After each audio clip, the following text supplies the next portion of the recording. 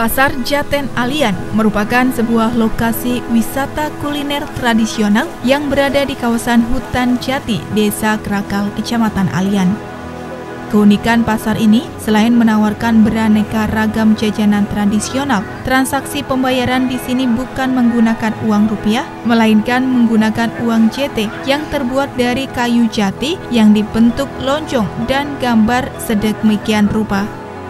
Sebelum berbelanja di pasar Jaten Alian ini, para pengunjung harus menukarkan uang rupiah terlebih dahulu dengan uang kayu saat memasuki lokasi pasar. Harganya pun cukup murah, hanya Rp2.000 per satu uang JT-nya. Uang tersebut kemudian digunakan membeli aneka jajanan dan makanan rakyat tradisional yang sudah jarang ditemui di kota besar seandainya sudah menukar hmm. tapi tidak uh, lelep sisanya boleh tidak terbeli tidak untuk beli boleh berapa semua tukar atau dikembalikan ditukar uang lagi Selain keunikan dan jajanan tradisional, cara pengemasan makanan di sini juga sangat memberikan kesan yang alami. Di pasar ini, makanan-makanan yang dibeli pengunjung tidak dibungkus dengan plastik, melainkan dengan daun jati dan daun pisang yang kemudian dimasukkan piti atau besek yang terbuat dari anyaman bambu. Dari kesan dan keunikan inilah, tidak sedikit membuat banyak warga Kebumen yang rela datang pagi hari ke pasar kuliner tersebut. Di sini, pengunjung bisa menikmati makanan tradisional seperti nasi tiwul, oyek, nasi pecel, serta jajanan pasar yang sudah langka dan sehat tanpa bahan pengawet seperti kue cucur, jenang ganyong, klepon, lupis, dan jenang candil.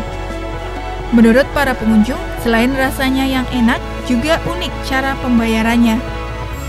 Unik banget sih, uh, kita di sini tuh belinya itu pakai koin, jadi nggak pakai uang. Jadi kita itu nuker nukerin uang dulu pakai koin, terus di sini tuh juga bebas uh, yang namanya plastik. Jadi kita itu pakai uh, daun semuanya. Jadi ini pokoknya ramah lingkungan banget lah pokoknya.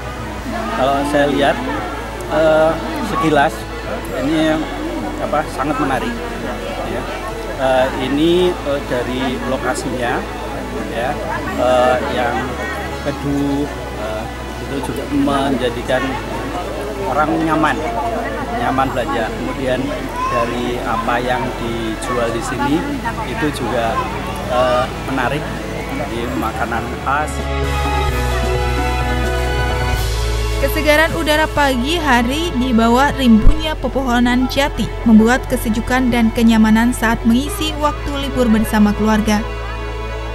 Wahyu Karyono selaku pihak pengelola menjelaskan, Pasar Jaten ini merupakan sebuah pengembangan wisata Taman Kupu-Kupu Alian yang baru pertama kali dibuka Minggu 18 November lalu. Melalui pasar ini, diharapkan masyarakat lebih mencintai makanan produk lokal yang sebenarnya menyehatkan. pasar makanan atau jajanan tradisional yang kita kemas tidak pakai plastik. Jadi tidak ada pengawet, tidak ada pewarna, bahkan plastik di sini tidak ada. Kita kami bebaskan ini dari plastik. Kami dari Alien Battle Free Park, jadi ini lahan Alien Battle Park kita manfaatkan untuk mengoptimalisasi lahan dengan cara pedagang untuk kita angkat kualitasnya. Rencananya pasar ini akan dibuka dua kali dalam sebulan setiap hari libur. Meski saat ini baru tersedia beberapa lapak milik warga, namun keberadaan pasar Jaten ini diharapkan dapat diminati wisatawan khususnya pada liburan Natal dan Tahun Baru mendatang.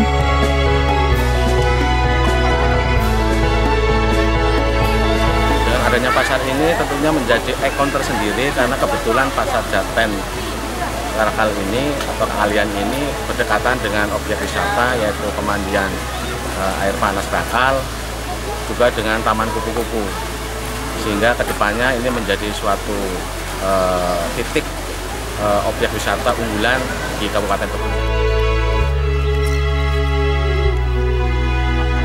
Dari Alian, tim Liputan Rati TV memberitakan,